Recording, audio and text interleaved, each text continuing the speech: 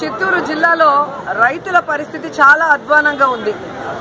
ముఖ్యమంత్రి గారి సొంత జిల్లాలో రైతులు పండించిన పంటని రోడ్ల మీద పడేస్తున్నారు అంటే ఈ చంద్రబాబు నాయుడు గారి పరిపాలన ఎంత అసమర్థంగా ఉంది. ఇతను రైతు ద్రోహి అనటానికి ఇంతకన్నా వేరే ఉదాహరణ కావాలని నేను అడుగుతున్నాను. ఇప్పటికే టమాటా రైతు చెరుకు రైతు వరి రైతు వేరుశనగ రైతుని నాశనం చేశాడు చంద్రబాబు నాయుడు. ఇప్పుడు మామిడి రైతుని కూడా నాశనం చేసే దిశగా ముందుకు వెళ్ళడం మనం కళ్ళారా చూస్తున్నాం. ఏ విధంగా మామిడి రైతులు కనీసం కిలోకి నాలుగు రూపాయలు కూడా ఇవ్వకుండా ప్రాసెసింగ్ యూనిట్ల వాళ్ళు వాళ్ళని దోచుకుంటుంటే ఈ ప్రభుత్వం ఎందుకు సైలెంట్గా ఉందని ప్రశ్నిస్తున్నాను. మీ ఎమ్మెల్యేలు మీ ఎంపీ కుటుంబ సభ్యులు మరి ఈ యొక్క ప్రాసెసింగ్ యూనిట్ సిండికేట్లో నాయకత్వం వహిస్తున్నారని మీరు సైలెంట్గా ఉన్నారని నేను అడుగుతున్నా. ఈ రోజు రైతుల్ని కాపాడాల్సిన రైతులకి గిట్టుబాటు ధర ఇవ్వాల్సిన టీడీపీ నాయకులు టీడీపీ ఎమ్మెల్యేలు ఈరోజు రైతుల్ని దోచుకోవడం ఎంతవరకు సమంజసం అని నేను అడుగుతున్నాను. మరి గత నెల రైతులందరూ కూడా మామిడి రైతులు కలెక్టర్ గారిని కలిసి వారి యొక్క గోడు వెళ్ళబోసుకుంటే తమ మామిడికాయలు అన్ని తీసుకొచ్చి రోడ్ల మీద పారేసి కుళ్ళిపోతుంటే మమ్మల్ని మోసం చేస్తున్న వాళ్ళ మీద చర్యలు చేపట్టమంటే ఇంతవరకు కూడా చర్యలు చేపట్టలేదు. ఆ రోజు కలెక్టర్ గారు చెప్పినట్టుగా ఎనిమిది రూపాయలు కిలోకి ఇప్పిస్తామంటే ఈ రోజు వరకు కూడా ఇప్పించిన దాఖలాలు కనిపించలేదు. సో ఈ రోజు నేను ఒకటే అడుగుతున్నా. ఈరోజు గల్లారణ గారి ఫ్యాక్టరీలో లేదా ఆదికేశ్వర నాయుడు ఫ్యాక్టరీలో లేదా టీడీపీ నాయకుల ఫ్యాక్టరీలు ఉన్నాయి కాబట్టి వాళ్ళకి మేము చెప్పలేము. వాళ్ళు రైతుల్ని దోచుకొని నాశనం చేస్తుంటే చూస్తూ ఉంటాము అంటే మాత్రం వైఎస్ఆర్ కాంగ్రెస్ పార్టీ ఊరికే ఉండదు. ఖచ్చితంగా దీని మీద పోరాడి ఈ ప్రభుత్వం మెడలు వంచడం దానికి మేము ప్రయత్నిస్తామని కూడా చెప్తున్నాం. ఎందుకంటే ఇప్పటికే చెరుకు రైతుల జీవితాలు నాశనం చేస్తూ చిత్తూరు ఫ్యాక్టరీ రేణుగుంట ఫ్యాక్టరీ మూసేసి ఈరోజు ప్రైవేట్ షుగర్ ఫ్యాక్టరీ వాళ్ళు చెరుకు రైతుల్ని దోచుకునే దానికి ప్రభుత్వం అవకాశం ఇచ్చింది. ఎక్కడా కూడా ప్రైవేట్ ఫ్యాక్టరీ వాళ్ళని కూర్చోబెట్టి రైతులకు ఒక ధర నిర్ణయించి న్యాయం చేసింది ప్రభుత్వం చేయలేదనేది మనం చూస్తున్నాం.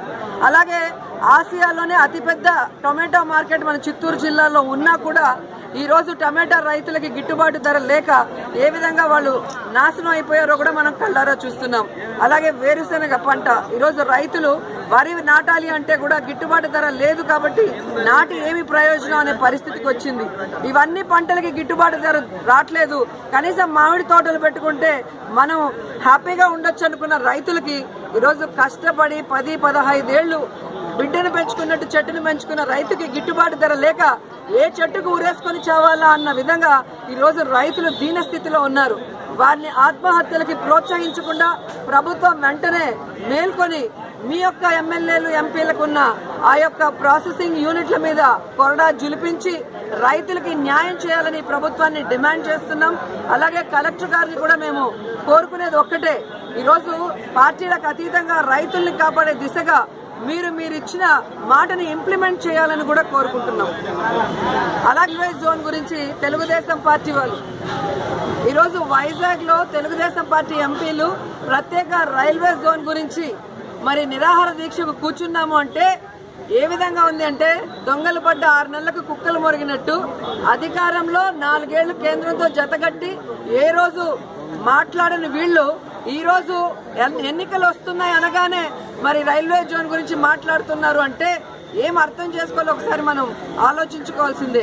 ఎందుకంటే నాలుగేళ్ళ వైఎస్ఆర్ కాంగ్రెస్ పార్టీ నాయకులు ఎంపీలు ఏ విధంగా ఈ రైల్వే జోన్ గురించి ఈ కడప స్టీల్ ప్లాంట్ గురించి అలాగే స్పెషల్ స్టేట్ గురించి పోరాడారో రాష్ట్ర ప్రజలందరూ కూడా గమనించారు.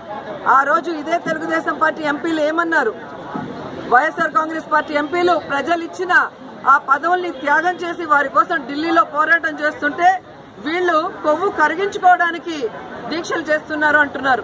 మరి అన్న తెలుగుదేశం పార్టీ ఎంపీలను నేను సూటిగా ప్రశ్నిస్తున్నా. ఈ రోజు మీరు కడప స్టీల్ ప్లాంట్ కానీ మరి వైజాగ్ ప్రత్యేక రైల్వే జోను ఈ నిరాహార దీక్షలన్నీ కూడా మీ కొవ్వు కరిగించుకోవడానికి చేస్తున్నారని అడుగుతున్నా. మేము దీక్షలు చేస్తే ఇక్కడ కాదు ఢిల్లీలో చేయాలని సలహాలు ఇచ్చే ముఖ్యమంత్రి గారు మరి మీ ఎంపీలతో ఎందుకు కడపలో వైజాగ్లో చేస్తున్నారు? అంటే ఢిల్లీకి వెళ్ళి వంగి వంగి దండాలు పెట్టి మోడీ గారి కాళ్ళు పట్టుకుంటారు. ఇక్కడ గల్లీలో వచ్చి మోడీ మీద ఏదో యుద్ధం ప్రకటించినట్టు నాటకాలు ఆడుతున్నారా అని అడుగుతున్నారు. ఇప్పటికైనా నాటకాలు ఆడటం ఆపేసి ఈ ఆరు నెలల్లో అయినా కూడా మీ ఎంపీల చేత రిజైన్ చేయించి ఢిల్లీలో మనం అందరం కూడా అఖిలపక్షంతో కలిసి ఆమరణ నిరాహార దీక్ష కూర్చుంటే ఖచ్చితంగా బీజేపీ దిగొచ్చే పరిస్థితి ఉంటుంది. ఇలా మీరు గల్లీలలో డ్రామాలు ఆడుకుంటూ రూముల్లో జోను రాదు గీను రాదని ఒకరు ఒక ఎంపీ ఏమో నాకు ఐదు కిలోలు తగ్గాలి కాబట్టి ఏడు రోజుల దాకా నేనైతే చేయగలనని చెప్పి వెటకారంగా మాట్లాడుకుంటూ ప్రజలు ఓట్లేసి గెలిపిస్తే ఆ ప్రజల్ని అవమానపరిచే విధంగా కనుక ప్రవర్తిస్తే ఆ ప్రజల మిమ్మల్ని బంగాళాఖాతంలో కలిపేస్తారని కూడా హెచ్చరిస్తున్నాం.